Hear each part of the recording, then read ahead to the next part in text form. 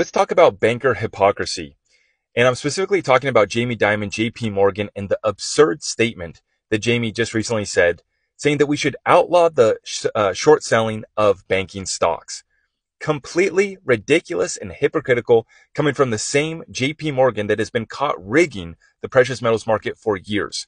Now, what inspired today's video is the fact that the silver price has briefly gone below $24 per ounce. Now, remember, $24 per ounce is the spot price that we're trading at on the charts. When you go into your silver dealer or when you use one of my affiliates down below to buy your precious metals, you're going to see that the premiums are much higher than that, right? I'm still seeing silver offered up for $30 per ounce, upwards of $40 after your premium and shipping. So get it while you can, folks. But what spurred today's video is seeing the price briefly drop down below. And this is an opportunity from the bankers who are completely rigging and suppressing assets like silver with their derivatives paper trading.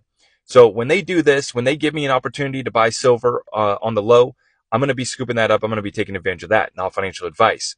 But it is completely hypocritical and ridiculous that the banksters like Jamie Dimon and JP Morgan are suggesting that we should stop or outlaw the short selling of bank stocks. Meanwhile, these guys have already gotten caught rigged uh, rigging the precious metals market for years. And this has been caught. This came out in court.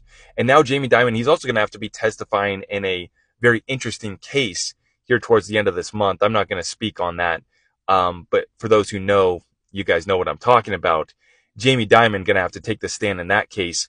Uh, and so they can explain why they were facilitating criminal enterprise and crimes against humanity for years. And then they're rigging the precious metals market and saying that we should outlaw the short selling of bank stocks. It's an absolute joke. Uh, these instruments, you know, are ways to balance out the market. This is what healthy capitalist markets need. And, um, it's completely ridiculous for him to su- suggest that.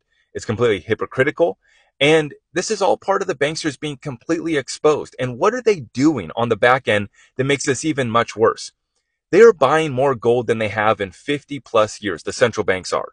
And those are the same, you know, central banks that Jamie Dimon and gang are working with and own, our Federal Reserve included. So while they are trying to outlaw the short selling of their own stocks, they have been shorting precious metals. They've been accumulating the precious metals and they keep us completely in the dark, com- completely left out before they reset this whole system. And that's what they're getting ready to do as they get exposed. They're keeping us distracted with all the chaos that you're seeing taking place.